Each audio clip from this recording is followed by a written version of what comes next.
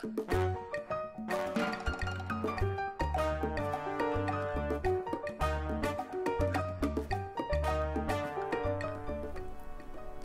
สดีค่ะ วันนี้จะพาทำหน้ากากแบบมีสายรัดจมูกนะคะ ตัวนี้ที่ทำเสร็จแล้วก็มีความน่ารักจุ๋มจิ๋มค่ะนะคะ มีความยืดหยุ่นแล้วก็ใส่สบายนะคะค่ะ สายรัดจมูกก็ดีอย่างหนึ่งจะได้ไม่ต้องใช้เป็นเหล็กดัดนะคะ จะได้ไม่ต้องถอดเข้าถอดออกให้ยุ่งยากนะคะ ค่ะขอเชิญชมด้านในค่ะ ค่ะด้านในก็มีความโปร่งลึกนะคะ ค่ะ แล้วก็ด้านคางนะคะ ด้านคางก็รัดกุมได้ดีค่ะ ค่ะมีความโปร่งนะคะ ใส่สบายหายใจสะดวกค่ะ ค่ะอันนี้ก็เป็นเส้นวงกลมของเขานะคะที่ใช้เป็นแพทเทิร์นนะคะก็คือ 25 เซนนะคะ ถ้าต้องการใหญ่กว่านะคะ เพิ่มเลยนะคะ ถ้าต้องการทำให้เด็กก็ลดลงนะคะ ค่ะ แล้วก็ส่วนผ้าเนี่ยขอแนะนำเป็นผ้าที่นิ่มนะคะ เพราะว่าตรงนี้ที่เขาเป็นจีบเข้ามาแล้วเนี่ยอาจจะมีความระคายเคืองกับตรงจมูกนะคะ ขอให้เลือกอผ้าที่นิ่มๆนะคะ แล้วก็ใส่สบายนะคะค่ะ ขอเชิญชมวิธีการขั้นตอนการทำค่ะค่ะ เรามาเริ่มทำกันเลยค่ะ เราก็ใช้จานกลมใบนี้นะคะ เป็นแม่พิมพ์ค่ะนะคะ ค่ะ เส้นผ่าศูนย์กลางของเขา 25 เซนค่ะ 25 เซนนะคะ ค่ะ เราวางลงไปตรงกึ่งกลางของกระดาษ A4 นะคะ ค่ะเสร็จแล้วเราก็ลากค่ะ ลากนะคะ ลากลากลากลากลากนะคะ ลากให้สุดเลยนะคะ ค่ะ พอลากเสร็จแล้วเอาออกมาเขาจะมีหน้าตาประมาณนี้นะคะ ค่ะ เสร็จแล้วเราก็พับครึ่งนะคะ พับครึ่งของกระดาษค่ะ นะคะ ให้เข้าเป็นรอยนะคะ เสร็จแล้วแล้วก็จะมีหน้าตาประมาณนี้นะคะ ค่ะ เสร็จแล้วเราก็วัดลงมาค่ะหนึ่งไม้บรรทัดค่ะ ขีดตรงเลยนะคะ จากกึ่งกลางนะคะ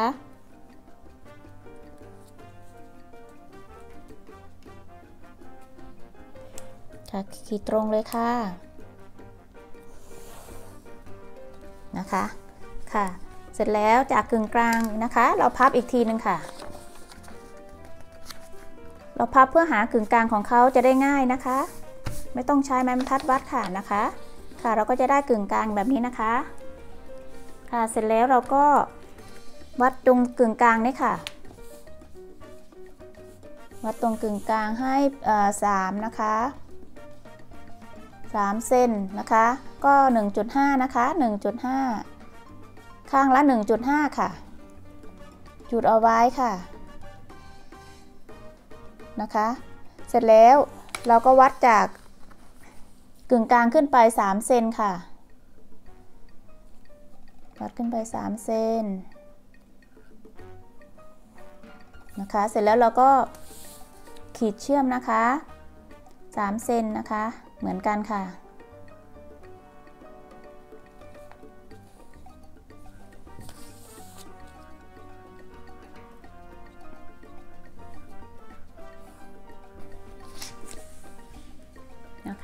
จะได้ประมาณนี้นะคะ เสร็จแล้วตรงนี้กับตรงนี้นะคะขึ้นไป 2 เซนค่ะ 2 เซนนะคะ ตรงนี้อ่า1.5 นะคะ 1.5 ค่ะเป็น 3 นะคะ ด้านนี้ก็เหมือนกันค่ะ ยกระดับขึ้นไป 2 เซนค่ะ นะคะ ค่ะ เสร็จแล้วลากเชื่อมค่ะ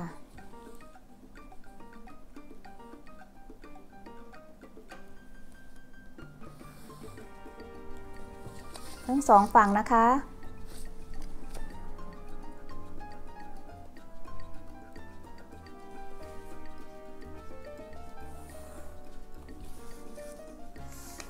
ค่ะ พอได้แล้วนะคะ เราวัดขึ้นไปอีกค่ะ 4.5 ค่ะ 4.5 นะคะ วัดขึ้นไปในแนวตรงค่ะ 4.5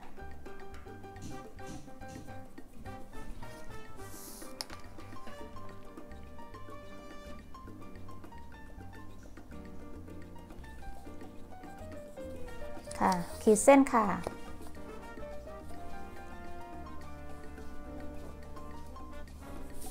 ขีดเส้นตรงนี้กับตรงนี้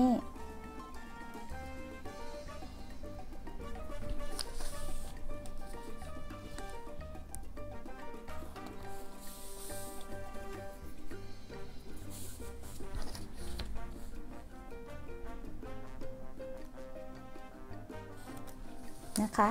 ก็จะออกมาแบบนี้นะคะ เสร็จแล้วเราก็จะมาตัดกันค่ะนะคะ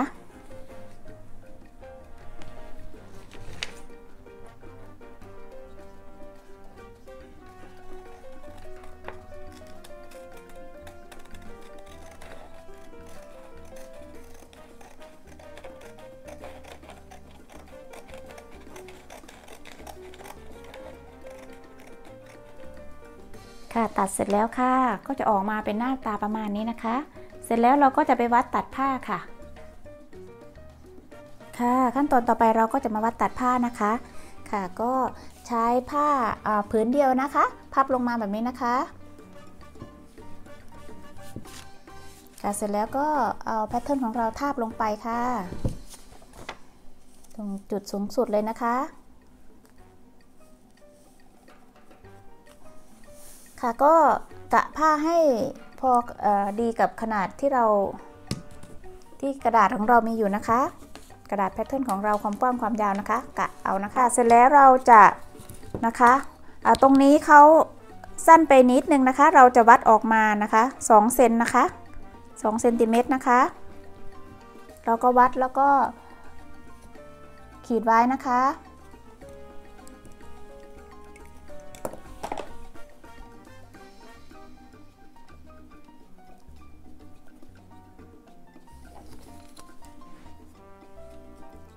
ค่ะขีดเลยค่ะ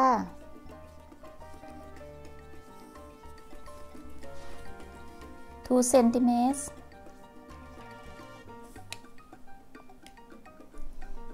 เราเพิ่มได้เลยนะคะ ต้องการความยาวเท่าไหร่นะคะ ค่ะ เพิ่มไปอีก 2 เซนก็กำลังดีค่ะ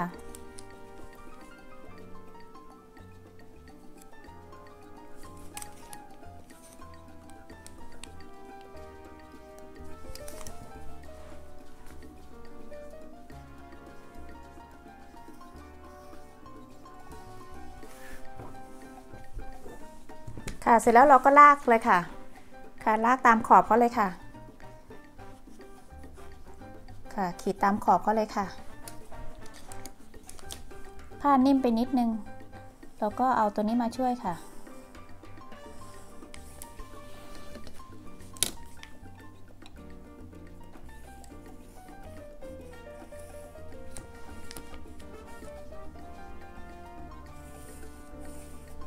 ค่ะเสร็จแล้วเราก็จะตัดนะคะ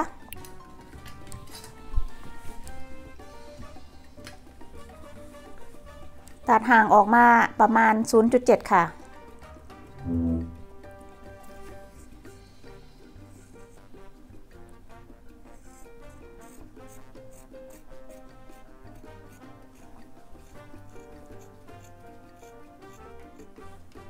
ค่ะขั้นตอนต่อไปเราก็จะนำไปเย็บนะคะ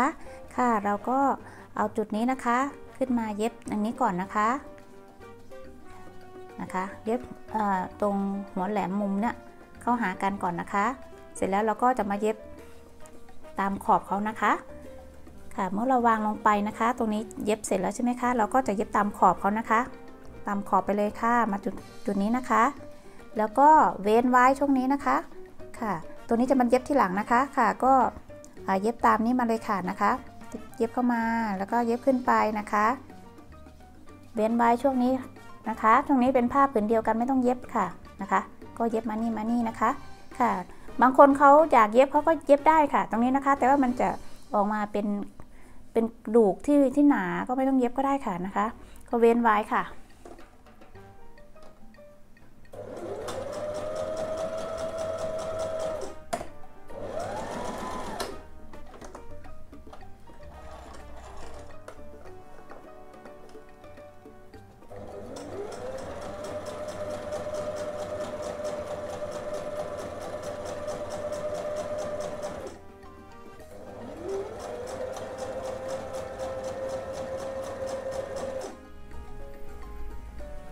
ค่ะพอเราเย็บเสร็จแล้วนะคะ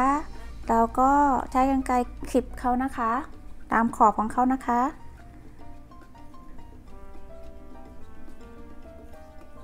เวลาเราแบะออกมันจะได้ไม่ลังนะคะคลิปขีแบบนี้นะคะ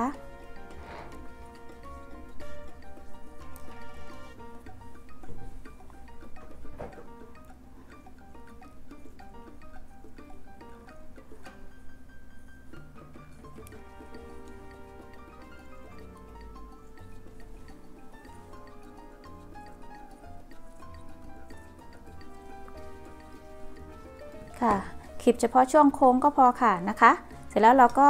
พลิกออกมานะคะ กลับด้านค่ะ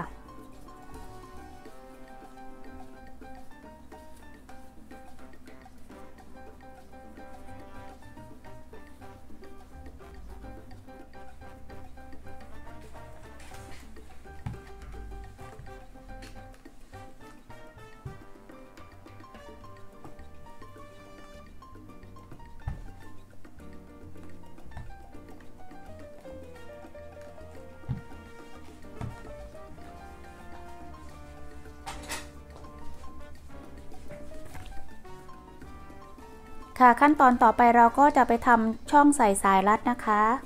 ค่ะเราวางลงไปแบบนี้นะคะ แล้วก็วัดจากจุดนี้มานี่นะคะ ค่ะเราต้องการจากนี่มานี่ 17 เซนค่ะ มาร์กไว้เลยนะคะ17เซนนะคะ ค่ะมาร์กไว้เลยค่ะ นะคะ เสร็จแล้วเราก็วัดเข้ามาประมาณ1เซนติเมตรนะคะ ค่ะวัดเข้ามาจากขอบ1เซนติเมตร นะคะ1เซน1เซน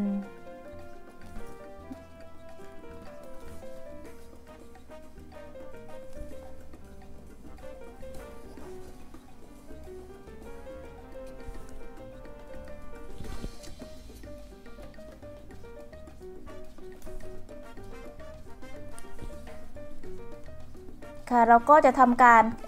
ลากเส้นนะคะ ลากเส้นเพื่อเป็น เส้นตามเส้นโค้งนะคะเราก็จะนำไปเย็บนะคะค่ะ เรามาลากกันเลยค่ะ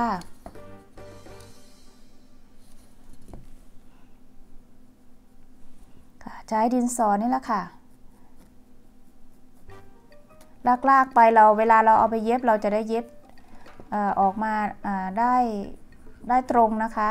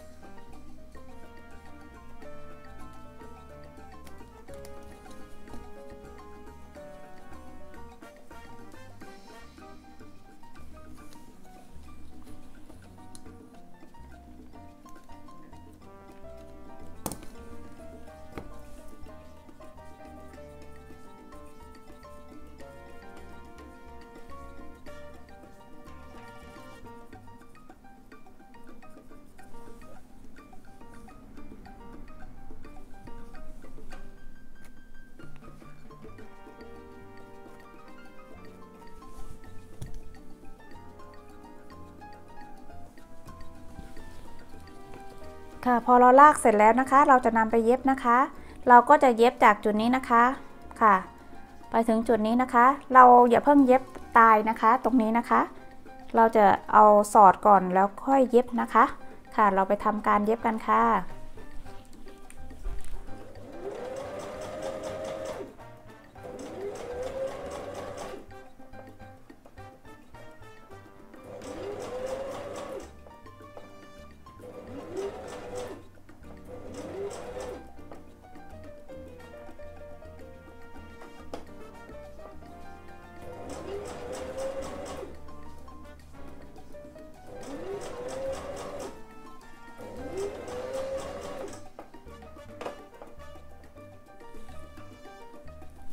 ค่ะเราก็เย็บช่องเสร็จแล้วนะคะ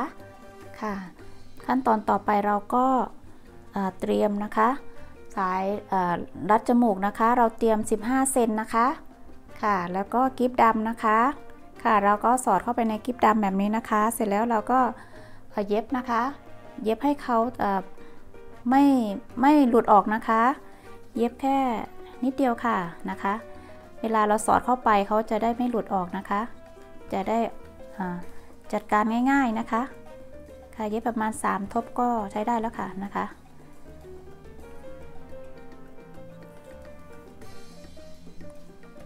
ค่ะเสร็จแล้ว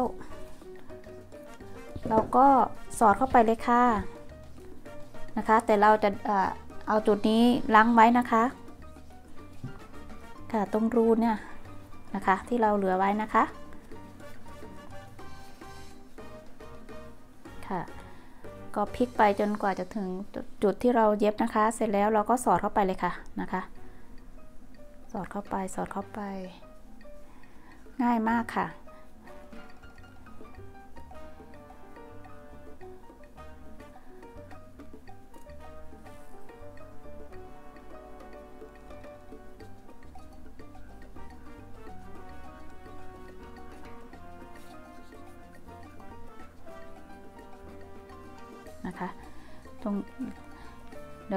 ล็อกตรงนี้ไว้ก่อนนะคะ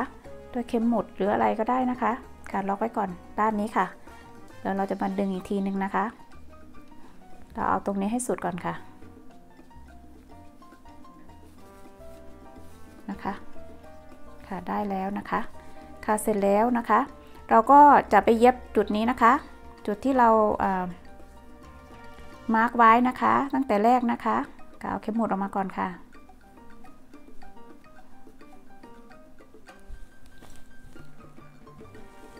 ค่ะเราก็เย็บเสร็จแล้วนะคะ เย็บตายแล้วนะคะ ค่ะห่างออกมาประมาณครึ่งเซนนะคะ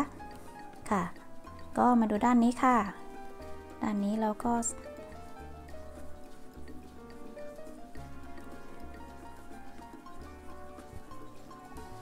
ค่ะเราก็จะมาดึงนะคะ ดึงจีบนะคะ ดึงเข้าไปเลยค่ะ เท่าที่เราต้องการนะคะค่ะดึงเข้าไปเลยค่ะ ความย่นแล้วแต่เลยค่ะ แล้วแต่เลยค่ะ นะคะค่ะเสร็จแล้วเราก็จะเอาไปเย็บตายนะคะ ตรงจุดที่เรามาร์กไว้นะคะ ตรงนี้นะคะ หลังจากที่เราได้ความย่นแล้วนะคะ ค่ะเราจะไปเย็บตายแล้วก็จะตัดส่วนที่เหลือออกนะคะ ค่ะไปทำการเย็บกันเลยค่ะ ก็คงประมาณนี้แหละค่ะนะคะ ที่เราต้องการนะคะค่ะ พอประมาณนะคะ ค่ะไปเย็บก่อนค่ะ ก็จะออกมาประมาณนี้ค่ะ ค่ะเราก็เย็บเสร็จเรียบร้อยแล้วนะคะค่ะออกมาก็หน้าตาประมาณนี้ค่ะ ด้านคางนะคะ ค่ะเราก็จะมาตัดส่วนที่เหลือออกนะคะ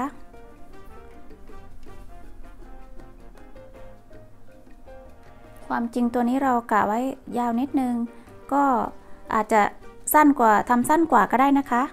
ค่ะเราก็จะตัดออกค่ะ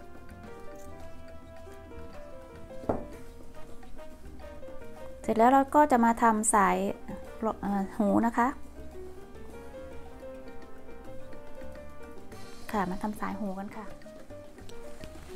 ค่ะสายหูเราก็จะใช้ประมาณ 18เซนติเมตรนะคะ ค่ะดึงออกมาทาบให้เสมอกันแล้วก็ตัดอีกทีค่ะ ความป้างของตัวนี้ก็ 3มิลิเมตรค่ะนะคะค่ะแล้วแต่เลยค่ะถ้าชอบบิ๊กกว่าใส่ใหญ่กว่าก็นะคะ เอาใหญ่กว่าก็ได้นะคะ ค่ะเราจะใช้เป็นแบบพับลงไปนะคะ พับลงไปแล้วก็สอดใส่แล้วก็ แบบนี้นะคะ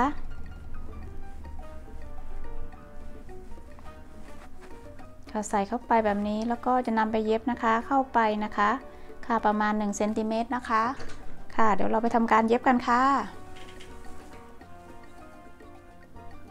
ค่ะ เรียบร้อยแล้วค่ะ หน้ากากของเรานะคะ ก็มีความสวยน่ารักนะคะ ค่ะยืดหยุ่นใส่สบายนะคะ ค่ะ จมหน้าตาค่ะ ค่ะเส้นรอบวงอันนี้ 25 เซนนะคะ ถ้าต้องการใหญ่กว่าก็หาวงกลมที่ใหญ่ขึ้นนะคะ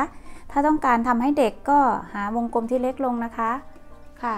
ก็เป็นอีกตัวเลือกหนึ่งที่ใส่สบายนะคะ เพื่อนๆ ค่ะ ลองมาทำดูทำไม่ยากเลยค่ะนะคะค่ะ มาวัดความยาวดูนิดนึงค่ะ ค่ะก็ได้ประมาณ 25 นะคะ ความฟ้างนะคะ ค่ะ ยืดออกมานิดนึงประมาณ 13 เซนค่ะนะคะค่ะ ก็ลองมาทำดูค่ะ จะทำใส่เองหรือว่าทำขายนะคะ ค่ะ ก็ขอแนะนำเป็นเนื้อผ้าที่นิ่มๆนะคะ เพราะว่าตรงนี้เวลาที่เขาเป็นจีบเข้ามาแล้วเราก็สัมผัสกับจมูกของเรานะคะ มันจะได้แบบมีความไม่ระคายเคืองนะคะ